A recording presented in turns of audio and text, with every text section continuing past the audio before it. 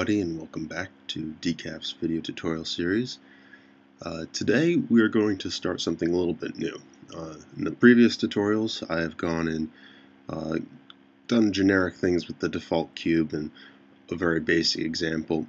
so uh, from now on we're going to be working on a project. We're going to be making a Boeing 737 Lufthansa uh, livery, livery, however you pronounce that.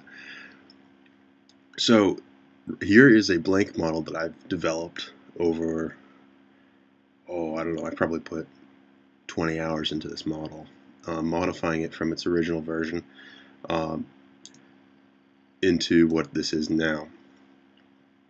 So let's uh, look at uh, what we're going to need. First, we're going to need uh, references. So to figure out what we're actually going to make, here is a nice picture of a Boeing 737 and the Lufthansa uh, paint scheme. And so there's a few things that we want to uh, no notice that we're going to be needing. Number one, uh, this is a mostly white model, but there are some uh, splashes of blue and gray. So we're going to need to paint our model to look like that. Then there's also decals. Uh, decals are basically anything graphics wise that we want to include. So in this case, we're going to want to include the airline name. Probably going to include this text right here. This is a 500 model, but we'll make this into a 600. Uh, we're going to want to make this tail art here. And we're probably going to want to put the country flag in there and maybe some of these other details up front. So this is actually uh, quite a few things to pay attention to. So let's start off with just uh, getting the base uh, of the airplane ready. So to do that, what we're going to do is put in the gray down below here, and then we're going to make the tail blue and white. So let's start off by saving this. File save as, and let's go and save it into here. And get rid of the blank here. Uh, there we go. So when I uh, name my airplanes, um, I ha typically have blank as a second scheme here, uh, the model name, and then the version. This allows me to go back and say, oh, uh, I made an update to the blank, and so I'm going to need to update all these other models. Now, that is a very, very hard way to do this. Um, in general, I've found that you want to spend the time and effort getting your blank model all prepped and ready before you do any um, painting or things like that. So that's uh, going to be a bit advanced if you're just starting off. So look for people who have already made blanks, uh, people who put the time and effort in. I'm going to be releasing a 737 new generation or next generation uh, repaint pack in some time for YS Flight. And in that, I'll have these blank models so that people can then go ahead and take the time and make the, uh, the models that I just didn't feel like working on or didn't have the time to do.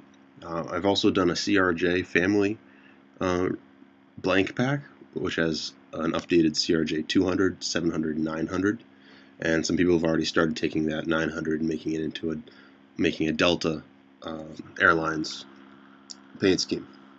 So uh, let's begin uh, getting this model ready. So first, uh, let's work on the tail because that's going to be a little bit more challenging. So one thing to notice is that this tail has a white strip going down the leading edge. And so we're going to need to address that. Um, and that's fairly straightforward to do. So we're going to go into edit mode here. Let's bring this toolbar up a little bit. There we go. And go into edit mode on that piece. So here we have uh, the edit mode. Um, I'm keeping this in textured mode right now just because I don't want to have to see through uh, the model. And I'm going to go into the number one viewpoint mode and get rid of this transform properties window. when you're doing all the cuttings, you don't really need that window open. That's uh, space that you could really use for other things. Okay, so let's start off by talking about how we're going to cut this. Uh, what we need to first do is select the things that we're going to cut.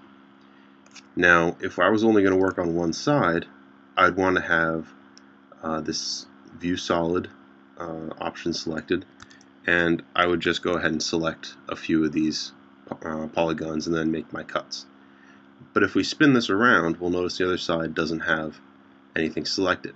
That's good if we only want to work on one side.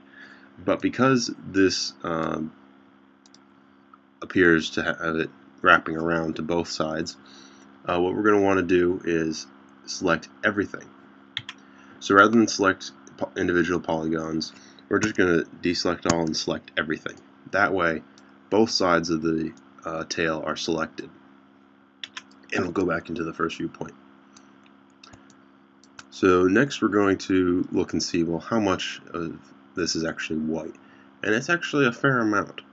Uh, one thing we have to take in consideration is that this airplane is at an angle to us, so it's not going to be quite that thick. It's going to be a little bit less. So I am just going to do a rough estimate here. Bring up my exact knife tool. And I am going to start laying this out. Probably something like this. Now, I finish that off by pressing the enter or return key. And if we look to the other side, we see that the cut appeared over here as well. And that's because all of both sides were selected. So any polygon that is selected, any uh, edge, anything that is selected that has a cut passed through it will be cut. So that's how we can, just by looking at one side, get everything done at the same time. So uh, I've noticed here that my cut actually is a little bit too thick here. So I'm going to go ahead and undo this. There we go. And let's go ahead and retry. Don't be afraid to take uh, a while working on this. That's not the right one, so let's go back and cut again. And it takes some fiddling around. I'm not going to try to disguise that fact. Um, it's going to take a little while to get everything the way you want it to be.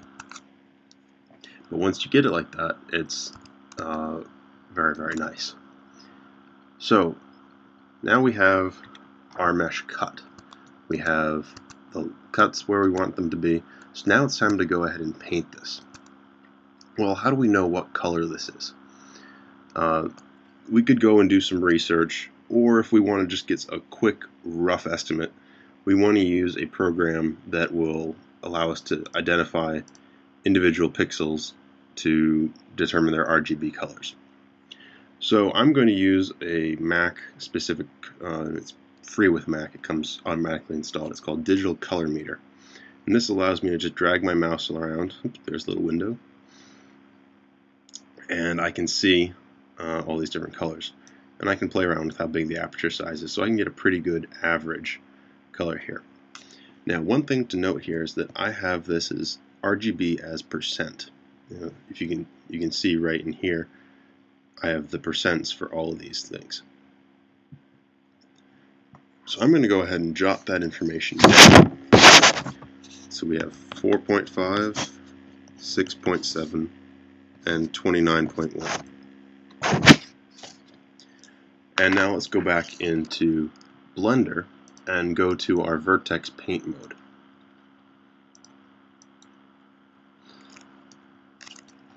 Now I don't have to press the F key because it's already showing me all the individual, individual faces. And to save time, what I'm actually going to do is just select everything and I'll paint the entire tail here this blue color. And then I'll go back and paint the white here since there are more blue faces, it will take more time to try to individually select them all. It's easier just to paint the whole thing white and then go after the smaller number of polygons that are going to be white.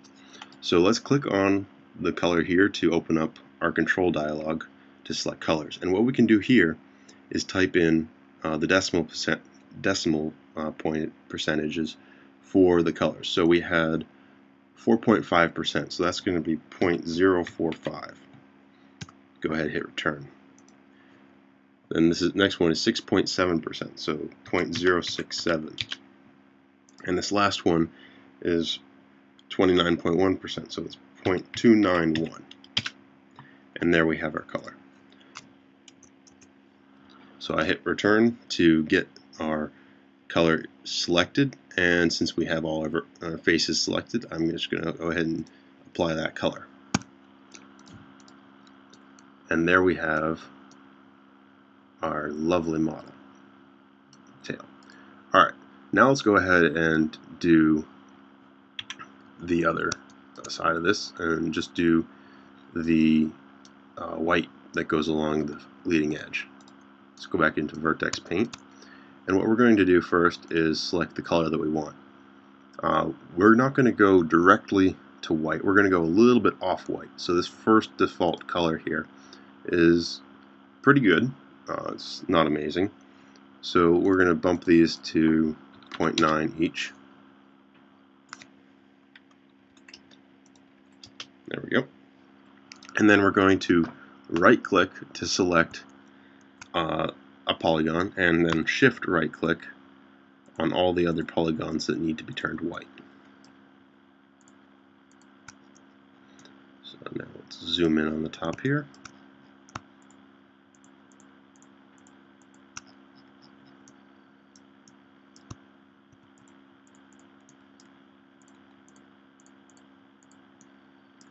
And there we go. So let's set those colors and go back to object mode. And there we go. There is our tail. Now, this, the rudder right here, let's go back to our base model. You can see that that is entirely blue, except for the decal, which we'll take care of later. So let's just go ahead, go into Vertex Paint. It's got everything selected already. That's wonderful. And now we want to make it the same color as this blue. Well, how can we do that without having to go and retype the colors in? Because that's just annoying. Well, if we go in, we can click on this sample button and we can click on our regular tail here and it'll automatically draw that color in, which is wonderful. So in just a couple clicks, we can make our entire tail that color. So that this seems like a good stopping point. Uh, next time, uh, we're going to work on work on doing the base, the belly of the uh, airplane, turning that into a gray color. So I hope to see you then.